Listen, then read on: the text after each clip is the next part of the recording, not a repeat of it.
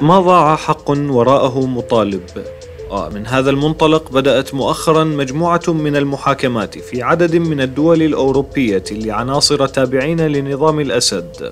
منهم من أعلن سابقا انشقاقه ومنهم من لم يفعل بعد. ولا يزال يجاهر بجرائم الحرب التي ارتكبها رغم وجوده في أوروبا.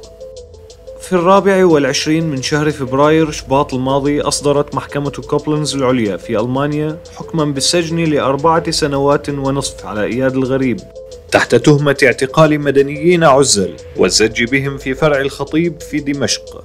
وهو عنصر مخابرات منشق عن نظام الأسد في العام 2012 فيما لم يصدر بعد الحكم على زميله المتهم في ذات القضية. وبعد ثلاثة أيام فقط برأ القضاء الفرنسي الضابط المنشق سامي كردي بعد محاكمته تحت تهمة ارتكاب جرائم حرب ضد الإنسانية.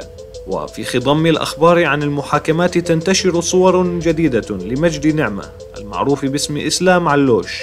ظهر فيها مهشم الوجه بعد عام على اعتقاله من قبل السلطات الفرنسية. وهو المتهم أيضا بارتكاب جرائم ضد الإنسانية أثناء توليه مناصب قيادية في فصائل المعارضة.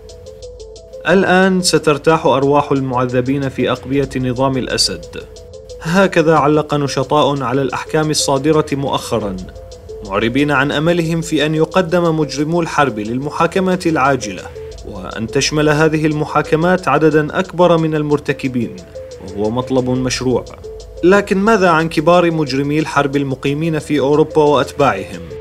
فمن المعروف أن بعضهم له استثمارات وأرصدة لم يمسها أحد منذ عقود. كرفعة الأسد المسؤول الأول عن مجزرة حماة الشهيرة في العام 1982 والتي راح ضحيتها مئات الآلاف من السوريين. فكما الأخلاق لا تتجزأ العدالة أيضا. ماذا حل بكيفورك الماسيان الذي لم ينفك عن امتداح الأنظمة القمعية وتمجيد مجرمي الحرب؟ والخطاب العنصري الذي وجهه حتى ضد الألمان ماذا عن عشرات العناصر التابعين للتنظيمات الإرهابية والذين ما زالوا يصولون ويجولون في شوارع أوروبا أسئلة مشروعة تتردد على ألسنة السوريين التواقين للعدالة فهل من مجيب؟